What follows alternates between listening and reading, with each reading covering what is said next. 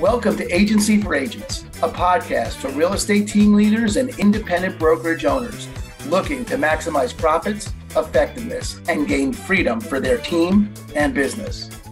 Your hosts, Christine Andreasen and Aaron Hendon, have been running one of the most successful real estate teams in the Seattle area for more than eight years. They know building a winning team means finding ways to empower, nurture, train, and develop individual agents to discover their own power their own agency. On the podcast, Christine and Aaron interview thought leaders in real estate and personal growth to help you impact both your performance and your teams. We know it takes a lot, and leaders and brokers that crack that code reap the rewards of success greater than any they could ever achieve on their own. Yeah, well, we're on this podcast because uh, Aaron and I really you know, it's called Abundant Life podcast, you know, and I think there's a million and 14 last time I counted podcasts that'll tell you how to sell 10 more houses or 30 more houses. And that's not what we're about. We like talking to people who are running teams or even small brokerages about how to have an extraordinary life and how do you empower your agents and how how to be really successful and not be somebody who's driving yourself nuts every day you know, because you don't get any time or you don't have a, you know, time with your family or time on your boat or whatever. So we really are looking for empowering, um, fulfilling, abundant ideas more than, hey, let's get some tips to sell 10 more houses. So that's this conversation. And yesterday, I'll tell you, Lisa, yesterday we had a fun, we had a fun time because we started talking war stories, you know? And I think those are like just now, even, you know, those are the kind of things that when you have an agent who's thinking about starting a team, they want to know that too. They want to hear about the crazy. They right. want to hear, like, what should I be prepared for when I'm starting a team? Now, I know that you're a top New York broker and that you've been in real estate and or investing for 40 years, but I don't know how big your team is, or do you own your own brokerage? So tell us okay, a little bit about you. Yeah, so I work for Sotheby's International Realty. Oh, I did, know Manhattan. Yep. I've been an agent there for, like you said, over 40 years. I started when I was about 16. Seriously. Um, That's awesome. My boyfriend, who became my husband's uh, mother, uh, was the head of a, of a large real estate company in Manhattan. And I just you know, that was like my first job. This is the only career you've ever had. Typing leases and filing and, you know, doing that type of thing.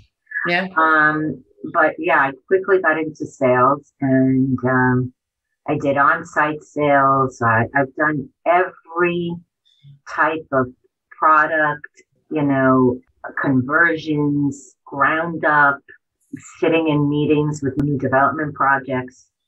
You've done it all. I have to say, I, I, I really, the only part of the business that I would say is not my forte, and that's the paperwork. right. Um, but uh, luckily, I have have good support, so so that works well. Now, do you have a team, or you you have a? I know yeah, you have. A- oh, so in the city, I have a team. And about a year and a half ago, um, I expanded to the Hamptons out in Long Island. And I've been out here for 25 years, but now I, I, uh, I'm representing properties um, as well as just enjoying the Hamptons, which is really incredible. You know, it's beautiful part of, of the world, really. It's, um, you have like incredible beaches and just, you know, lots of luxury in every area but done in a, a very, you know, not like Rodeo Drive-ish. You know, it's it's done in very quaint style, but very mm-hmm. elegant and sophisticated and charming. Yeah, Hamptons are beautiful. Um, but yeah, really nice. And then the city is doing incredible. We've done 50% more deals than in the height of the market, like back in 2004. Wow. And honestly, just from an informative perspective, I closed on a $7.6 million deal that we did over Zoom. Wow. Never saw it until after he closed. Wow.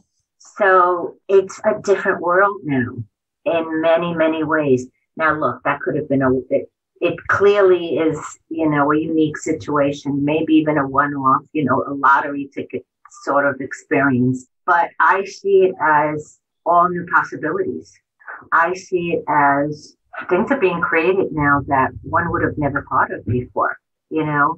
So I saw it as growth where everybody was, you know, you know, the word was pivoting. That was the buzzword, right?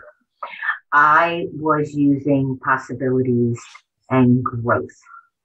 Um, I always wanted to expand anyway. I thought maybe I'd expand somewhere else, not here, but this is how it worked out. And it's, it's just, yeah, I'm here now actually in the Hamptons.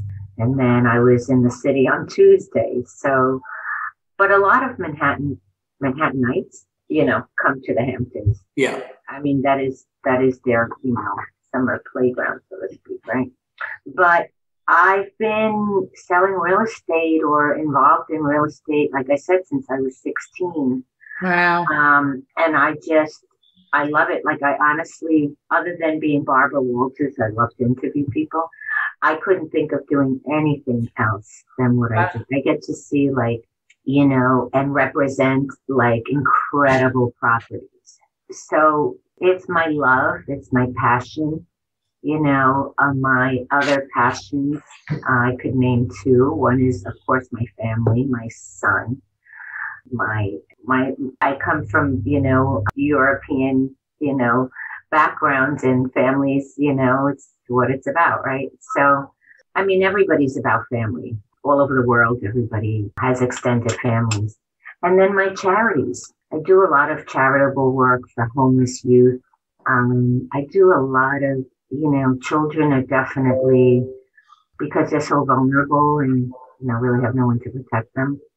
I do uh, work with God's Love We Deliver that delivers food to people that can't feed themselves because they're too sick. So I would say those are like my three passions, you know.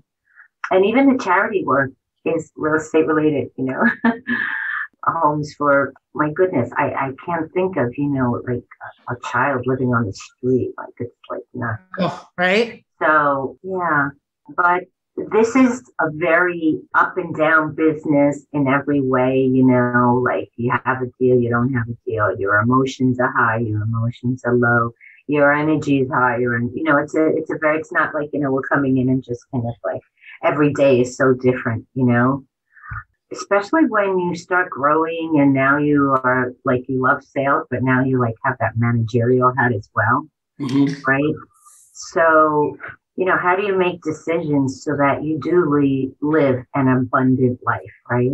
Yeah. So I once heard this analogy and actually I use it a lot. So the analogy is the difference between a crystal ball and a rubber ball. So if the decision is such that you could never ever get it back, let's say it's your only child's graduation from law school or I don't know, something like, you know, or you're the, you know, helping your child deliver a baby. So like if you don't get it. And then on the other hand, you have this um, hundred million dollar project that, you know, the three developers are showing up, right? ah, they want the same time. So this one, you know, you can't get back. This one, you're going to have to reschedule. Or if it's a rubber ball, can you throw it to someone else? That's awesome. Right? Can you bounce it to someone else? Crystal ball, it breaks, it shatters, you can't get it back. So you can kind of like make a decision a little bit sometimes that way too, you know? But I don't know about on, you know, I don't know if you have teams, but like on my team, we have two kind of sayings that always go around mm-hmm. that we use a lot. One of them is you can never go wrong by doing the right thing. Hmm. So again, when we have to make decisions, you know, yep. is this right? Is it ethical? You know, mm-hmm. and especially when you're working with another agent because mm-hmm. sellers and buyers come and go. You'll have to work with that agent again, you know? Yeah. So it's important. We always say team together each accomplishes more, right? So we value that saying as well. Tell us about um, your team. How big is your team? So I have a marketing, a full-time marketing person, full-time assistant, administrative assistant. I have three agents in the city and two and a half out here. Two and a half. Well, because the marketing person is now getting her license, so she'll be able Ah. to do some showings. Fun. Yeah. Lisa, what are your expectations? You know, one of the things that we uh, love is how much the expectations from each team leader to team leader differ. So, yesterday we were on with a woman. She doesn't care if her agent does one deal a year and somebody else does 20 a month. She doesn't press them, she lets them roll at their own pace. My team's a little bit different. We have expectations that everybody performs every month. Where are you with those expectations? So I'm just curious. So then what's the point of having a salesperson if they're not producing? I mean, I don't understand if that's their job and they're not doing the job. So then what's the point? Is just just to look like a person on a picture or I don't know. That means you Um, lean towards our me, way. Um, personally, I love to help my team members grow. So for me, I would want agents that want to do business, that want to grow, and that I can help them fulfill their potential. I know a lot of team members probably want just people like to use them to do things maybe that they can't do, don't want to do you know, uh, maybe the younger person is better in social media or this, so they're going to use them for that. But that's not really helping that agent. It's more helping, you know. That's right. Helping you, huh? So I always say, you know, again, going back to together each accomplishes more, if you use a car analogy. So I may be the motor, you know, the person pulling whatever. Mhm. But, you know, my admin, she's kind of like steering the whole car, you know. And then the salespeople are kind of the wheels on the tires. So any one of those doesn't function properly, you know, the car's not going far. So I think everybody has a purpose and I think everybody has to do their job. And yeah, I, I would want somebody who wants to grow and, and, and reach a potential. You know, the, the thing is though, um, then, you know, how do you approach the retainership situation? Because How do you approach what? Say it again. retainership? Oh, yeah. Yeah, right. Well, that's the question. because you know in the beginning well i learned the hard way you know they just take your your people that you've introduced them to and you know they uh Go do their own thing. they start communicating with your your you know you've been in the business for so many years and now they they just um going to start communicating um and some of the business is new and some of it maybe's been around but you let them handle it so I don't just 100%, you know, I stay much more involved. I- I'm the direct contact from now on, you know. So But you, you're saying that even if your agent's working a deal with someone, you still are the point of contact? Well, if, if I um, am the am providing the, the the the source of business, the lead. Ah, gotcha. you know. If it's like somebody that you've done business with. I mean, if they bring in their own their own business, you know, then that's their own business. you Well. Lisa, let- let me ask you, so- I'm just there to support them.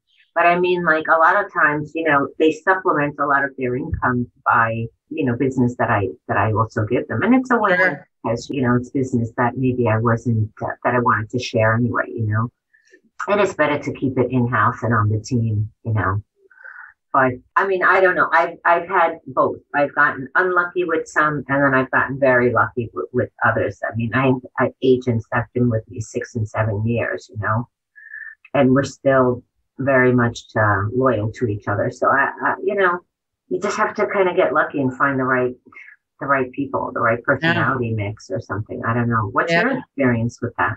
Yeah, very much. We're dealing with it right now. Aaron and I have been, uh, Aaron's the reason I have a team.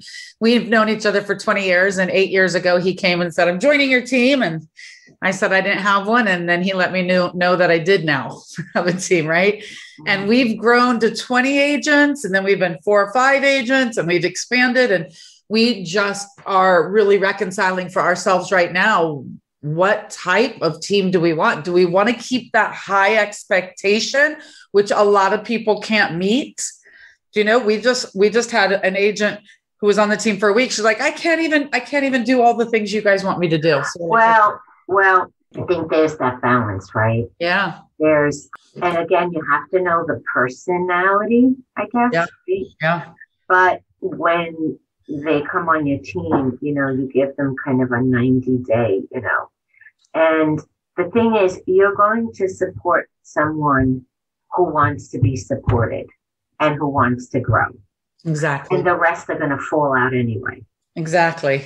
And that's okay because why put energy and time into someone who's really not going to make sales anyway and they just suck in your energy? Yeah, I agree We completely. were just saying that. That was that was the last team. That was the last huddle we just had. It was really very much about that. How much of the business that your agent? Let's just look at your team. Right, you have three, five and a half, six agents doing business. How much of their business did they generate on their own versus how much business do you hand them? And again, each agent is going to be different. Yeah, on average. But I can tell you the agents that don't last on my team are not bringing in their own business. Got it. And to me, the only reason to have team members is for two reasons. They add to your bottom line and you're adding to their bottom line. Totally. And that's the only reason. And if they're not, it's just, it's bad, bad. And it, it's, it's like, Bad juju. you don't even know what to do with that. It's like, you know, it's like, it's like they would end up resenting you because you're supposed to make them this superstar.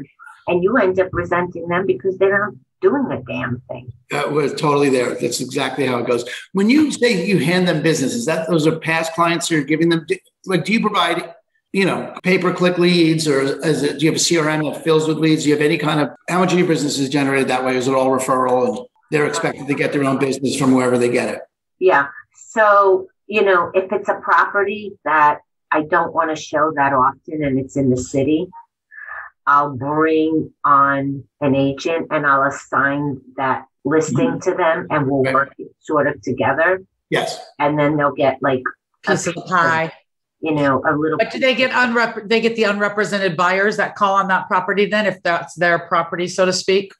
You know, anything that comes as a result of that, it would be the same deal. Awesome. Yeah. Right.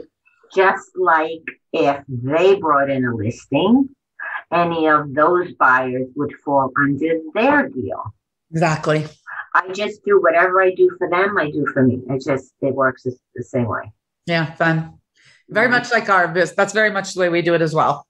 Although I believe in New York, you have to go to every showing. So we don't have to do that here. People can just get in with their Supra box, but we we give an agent, uh, if it's their listing, they get all the sign calls, they get all the leads, and we'll do all of the staging. Well, you know, interestingly enough, I guess because I have that New York way of doing business, I do the same out here. I always show my own properties. oh, really? Yeah.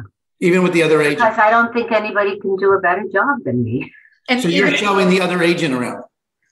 I'll show the other agent around. I'll show the direct buyer around. I'll show my agents how to show it. Yeah, I want to sell that property quickly. that's right, right? I want everything done, you know, perfectly. And if I see an agent is not whatever, I'll even step in and get the job done. For the other agent with their buyer. I mean, whatever needs. to Yeah, whatever it My- takes, My, right? my bottom line is the same: get that property sold. You know, And what would be if if you were talking to somebody new thinking about starting a team and they were looking at well, how do I empower my team or really retain my team? What do you think the number one biggest tip you would give them would be? well, I think it's important to have sales meetings Yeah. because Me, right? that keeps everybody on track. You're setting goals. You're connecting. You know, so I think I think that that's important. And how often do you do that, Lisa? Well, I mean, I used to do it every week, you know, but then we were meeting in person.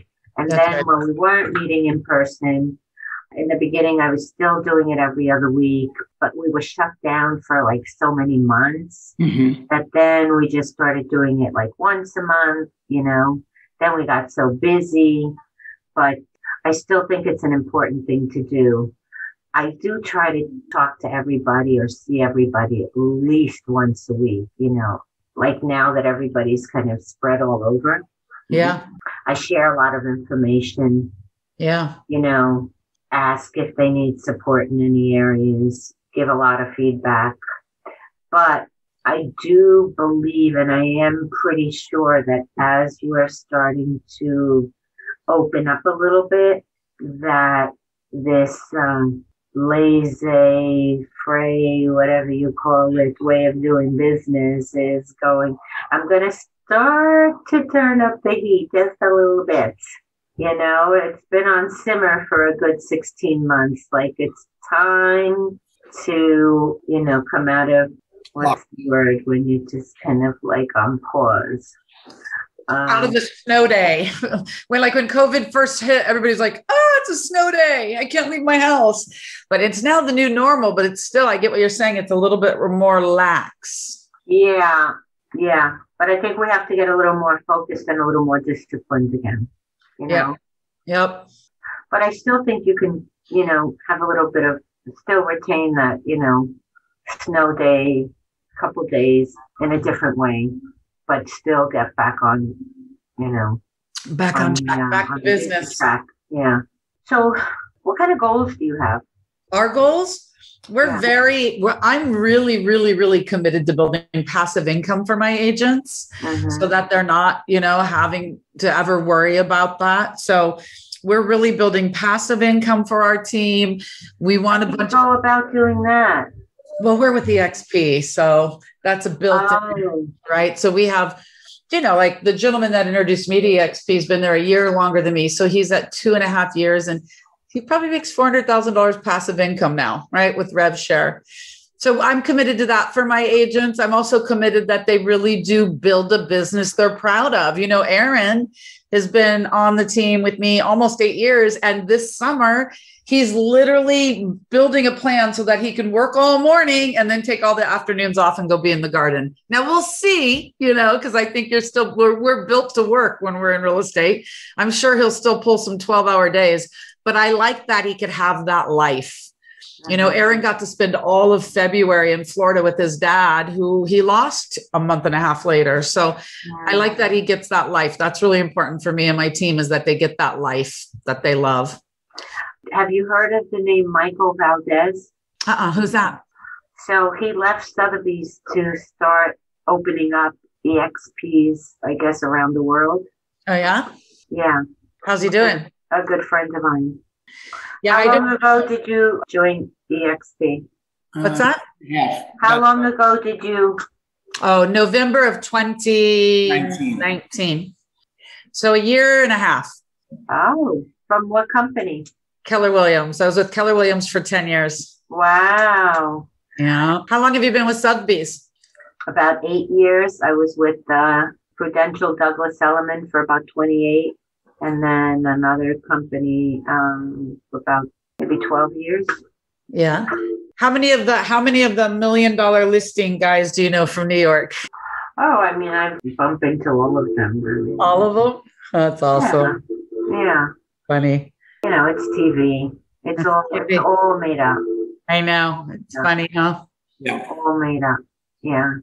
Huh. Um, when uh, Fredrik first joined Douglas Elliman, which is why he went over there to do this, the owner, Howard Lorber, his son, Michael Lorber, worked for the company. So, you know, they interviewed him. He had to take listings from other agents, pretend they were his, and and then pretend to do these um, negotiations that it, it, was all pretend. Wow. Yeah. Um, it is TV. I get it, man. But you know, like obviously, you know, the the a lot of established agents would never ever do, you know, reality TV. That, yeah, no. Well, you never know how they're going to twist it. You never know how they're going to edit it. They can make you look like a complete jerk if you're not careful. Yeah, that's scary. Right? I know. I'm with you. I would not want to do it either. Yeah. Yeah. Because they could just pull out whatever they want to pull out and taint it and twist it any direction they want to go. Yeah. Would you do it?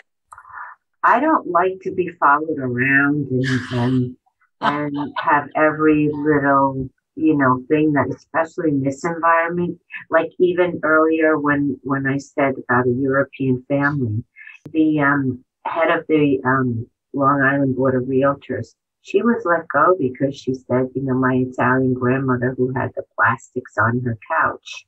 And apparently that was like derogatory towards what Italians? She's Italian herself. She's Italian. It's, she's talking about her own family. You know, so that part would scare me that I would just, you know, not mean to say something and it just be like a rubber band conscrewed. And next thing I know, I'm like some kind of hater of I don't know what, you know?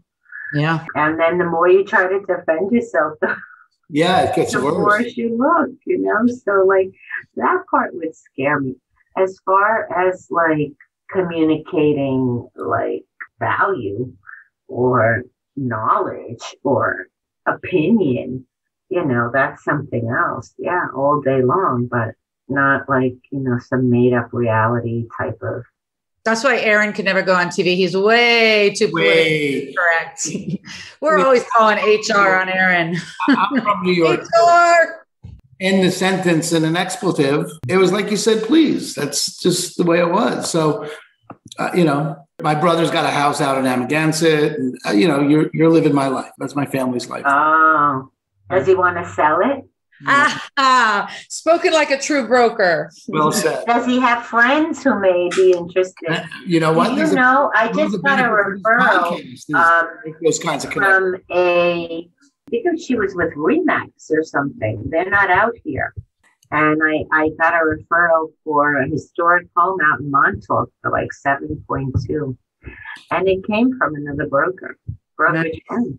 Yeah, he, my brother's got a big place on Park Ave, and then out in Amagansett, and um, What does he do for a living? he is three quarter retired now. He was a money manager for a privately held family. I was going to say something with finance. Yeah, that's uh, pretty typical. Yeah. So he's he's a great guy, and I love him dearly. And I'll be out your way. I'll be out that way in September. We're going to spread my parents' ashes out on Montauk, where my mom just that was my mom. Well, that's where I have that estate. So maybe I could meet you out there. And uh, Gurney's is out there. It's incredible. What's Gurney's? It's a restaurant. It's more than a restaurant. It's a hotel resort. Oh, It's uh, they're they're redoing the spa for like two years. It's just a, all right. Well, then I'll I'll come with, and you and I can go get spa treatments and drink wine while Aaron goes and uh, spreads ashes. look it up. Look it up. Gurney's. Fair enough. All right, good. Fabulous. All right. Well, we're coming towards the end of our time here, Lisa. Is there anything that you want the listeners or new, I mean, particularly new team leaders or people that are really starting to take it from the individual level to something bigger? Anything you want to Well- tell them or leave them with? you know, again, I think that just, you know, have good relationships with your fellow agents is definitely Yeah. one. Yeah. But, you know, the passive income that you brought up, I would say that when you're starting your career, you know, put from each deal money aside uh, for two things. As this Southern broker that was on a, a Zoom with us uh, a few weeks ago, she said, stash your cash. you Yeah. know, while the going is good, stash your cash. Um, but the other thing I would say is is uh, put money aside so that you can start investing in real Yeah. estate and invest in yourself and invest in your own properties. Yeah. I would say those those will be the two things. Yeah. Good advice. Good advice. Sounds like you just a party started there where you are. Yeah, it is a little loud. I think they all came back from some seeing a bunch of places. Very good. Well, it was delightful being with you. Thank you for spending Same your lunch here. Make sure you email me your all your contacts. Absolutely will. Thank you so much for the time. This is great to meet you. It was really great to meet you. And don't forget to reach out to me, Aaron, when you I come will. out this way. Remember, well, we, Totally. And we'll send you a copy of this, this Okay. podcast as well. Sounds great. All right. Bye, Lisa. Take care. Okay, thank you. Bye. Bye bye. Thank you for tuning in to another episode of the Abundant Life Podcast, brought to you by Christine and Company and eXp Realty, the global online brokerage powered by top agents and cutting edge technology. If you liked what you heard, consider subscribing wherever you listen to podcasts.